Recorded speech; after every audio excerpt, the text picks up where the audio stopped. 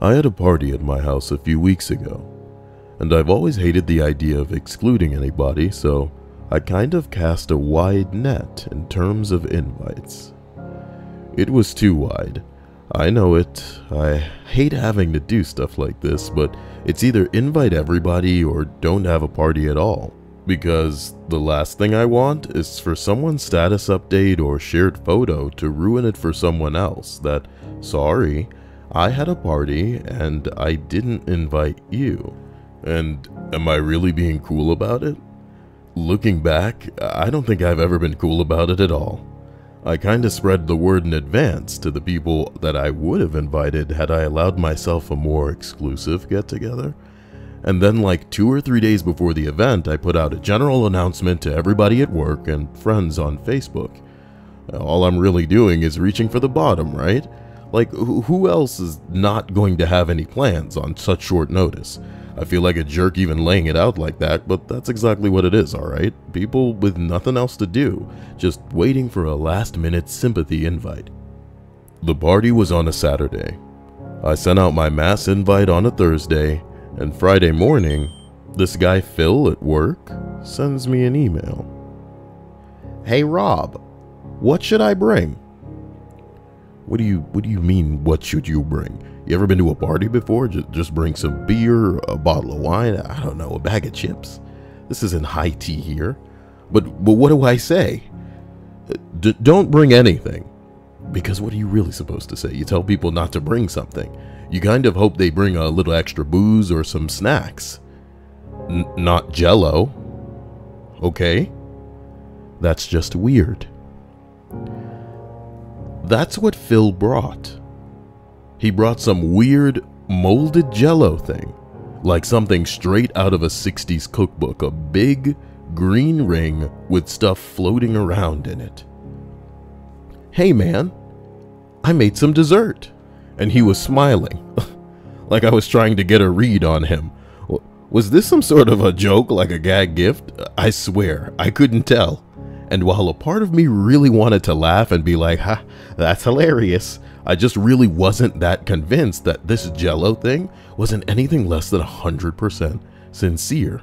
I was right in the middle of laying out all of the snacks, pouring this giant bag of tortilla chips that I had bought from Costco into a big plastic bowl. I had all this party stuff spread out around me, and it wasn't because I wasn't ready yet, okay? It was because Phil showed up exactly at 8 o'clock. Like, he was walking around the block just waiting for the clock to strike 8 so he could knock on my door? Nobody else was here yet, and I was clearly still setting up, but he has this thing in my face. It wasn't even wrapped. Like, I understand how he got it all the way from his place to my place. Was he just sitting on the subway with this jello on his lap, like breathing on it? it it's too much. And I get it, okay? Like, I can be socially awkward sometimes, I have the same tendency to overthink everything, and yeah, when I get invited to a party, I'm totally stressed out about what time I'm supposed to show up, right? But I'm not the guy walking around the block wasting time so I can show up at just the right second, okay? I'm the guy walking around the block waiting for just the right time to make an entrance that looks natural, like I'm not obsessing about how many people have arrived before me or if I'm too late. Okay? So, I understand. But this guy is like me, but with absolutely no inhibitions. Just, it's 8 o'clock, ding dong, here's your jello. Maybe it was a joke. Ha! That's funny. I did say it, hoping he'd laugh back. Because come on, dude, I've never seen a dessert like that in real life, and maybe it's really tasty and everything, but nobody's going to eat that. And tell me you had it wrapped up please tell me you ditched the wrapping outside something because I can't get over the exposed jiggly surface like somebody two seats down from you on the subway sneezes. It just seems like a, a giant germ magnet. What's so funny? and what do I say to that?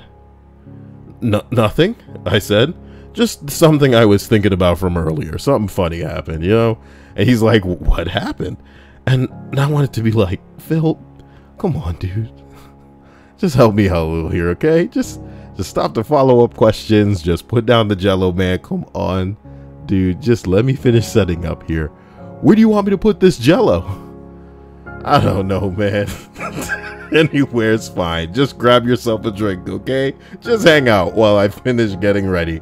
And I'm telling you, that fucking jello was like the hit of the party.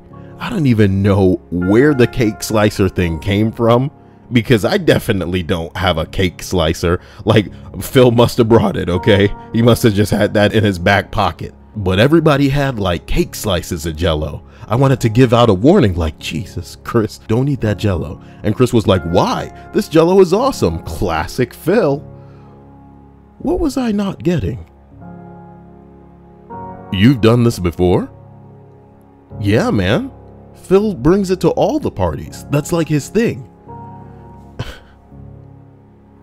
and I was just thinking, how come I've never been to any parties with Phil before? Like, I don't care, okay? It's not like I have to be invited to everything, okay? I, I know that not everybody does the whole blanket invite thing like I do, but not once. How many parties are people having that Phil's invited to that I'm not? Because I would have noticed that, okay? I'm telling you, I would have noticed a green fucking jello ring cake with pieces of canned pineapple floating around in it.